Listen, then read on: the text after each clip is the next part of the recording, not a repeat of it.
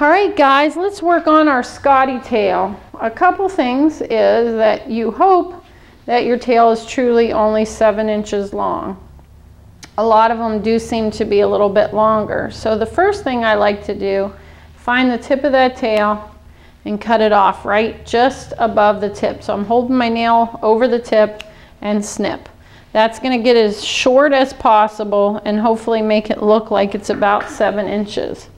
Now, from the side, some things you got to worry about is like we had talked about before. He's got his top line is questionable and he's got a dip in front of his tail. So, um, and also his tail set's low. It should be in the center of my fingers and it's not. It's more to the back side. So we're going to leave the front side longer Try and make it look like an upside down carrot, but one thing they do say is they should never look like a flag. They do not, and I believe that's stated in their breed standard. So what I'm gonna do is I'm gonna stack that tail up and I know that I wanna take more hair off the back. So I'm gonna go ahead and hit this with my scissors first and try and create a little bit of a point at the tip. And I'm not gonna do much to the front side at this point. I'm going to take my blending shears and come in tight.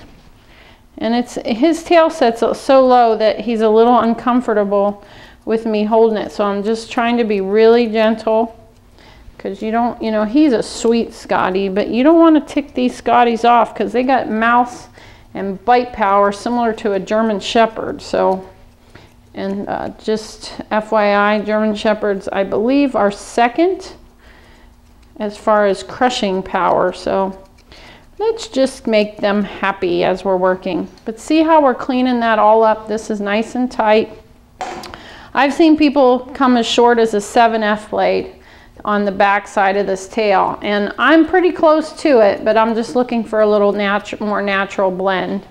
Now, once I get that done, I'm going to pull this um, I'm going to pull the front coat back and then come in here and angle and blend that in from the side, not the front. Same thing on the other side. We're going to come over here. Let's see if you can get a better view. Get over here. Ah, ah, ah. It's okay, Baba. Nope. Nope. Stand. Comb all this over. Stop. And blend as well. Okay, and then the front we're not going to do a lot with. If you need to, you can run a stripping knife over it, but the blending happened here. So this is what's going to give you your tail set and also the fill to correct your tail set. So you trimmed it more from the side than the top. And that's it. We've done some correcting to our little guy's tail set. Thanks.